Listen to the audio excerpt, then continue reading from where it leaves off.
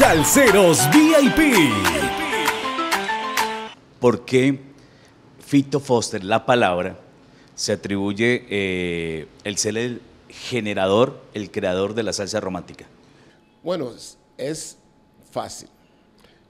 Yo cojo, me atribo, es la la palabra, porque cuando yo estaba en Los Ángeles, California, yo estaba trabajando con Stevie Wonder.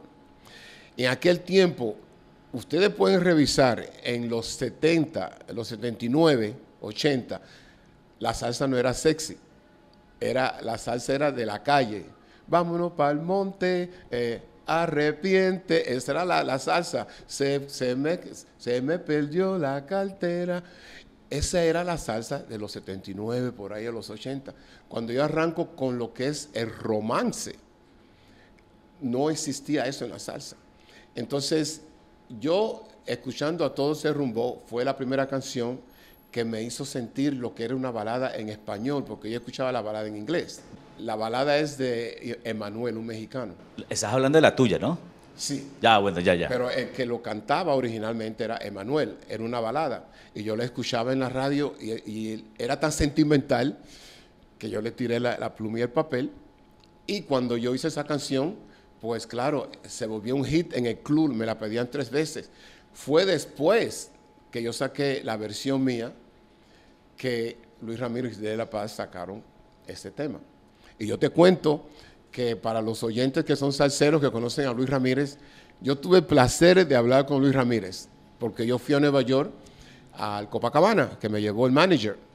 Y él me dijo a mí, cuando yo bajo abajo donde está el piano, Luis Ramírez me ve y yo le digo, mi nombre es Fito. Y él, vaya, actuó como si, como si había visto un muerto.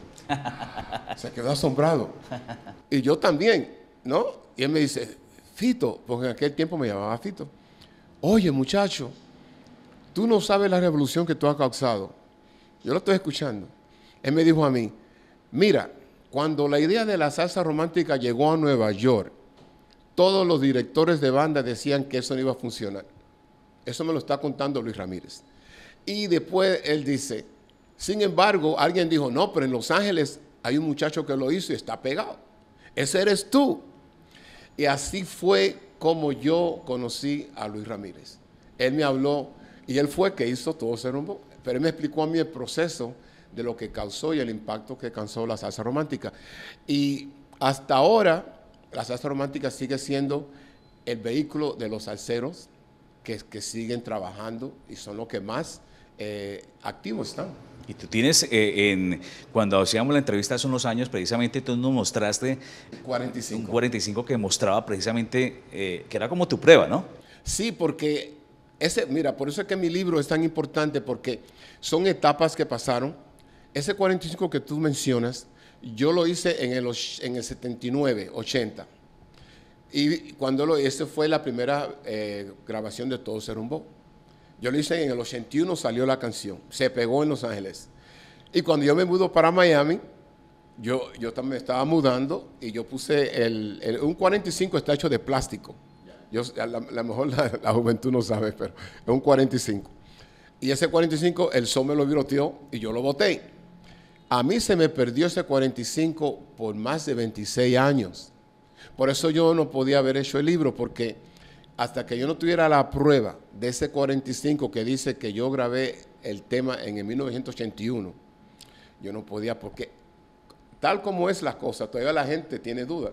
Porque tú sabes cómo es. No le quieren darle mérito a uno.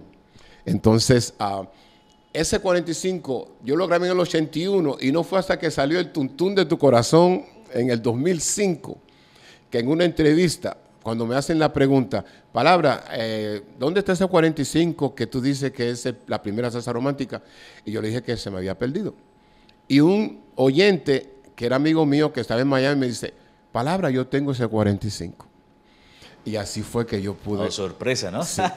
Y es, vaya, pero fueron muchos años. Y te cuento una anécdota. Yo cuidé ese 45 cuando me lo dieron. Lo puse en un marco, en un, en un cuadro.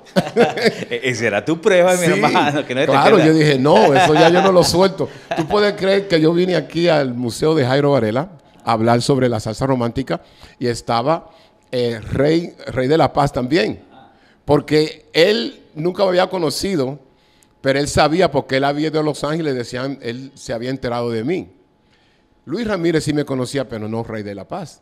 Pero anyways, yo vine a hacer un seminario y con, el, con el 45 y cuando salí me fui a mi casa, tú sabes, y unos días después estoy buscando y no encuentro el cuadro. Y yo, digo, ¿sabes que De momento dije, espérate, y empecé a, no lo tenía. Y yo dije, ay, se me quedó en el taxi, imagínate tú. El 45 que yo había esperado 26 años para encontrarlo, no lo encontraba. Todo lo que hice, dije, espérate, déjame llamar al restaurante. Tú sabes, Jairo Varela tiene unos restaurantes afuera. Llamé. Mire, ¿usted no ha visto un, cuadro con... Sí, aquí lo tenemos. oh, oh, recompensa. Óyeme, no, ya yo no lo saco de mi casa. Ese o ese. Porque, vaya, es, es, la única que queda, la única prueba. Pero sí, fueron más de 26 años. Este libro, a pesar de que ustedes lo pueden leer en dos horas, a mí me cogió más de 30 años escribir el libro, porque era la, vaya, es, fueron etapas en mi música, fueron la etapa de la salsa romántica que yo vi en los 80, y eran, lo más bonito del libro es que cuando yo lo empecé a escribir, yo mismo no me había dado cuenta, no me había dado de cuenta lo mucho que yo había sufrido, porque como yo lo estaba viviendo, ¿me entiendes? Pero cuando yo lo leí, digo, wow, por eso es que la gente lee mi libro y a veces llora, porque es la realidad de lo que me pasó a mí sobre la salsa romántica. Salceros VIP.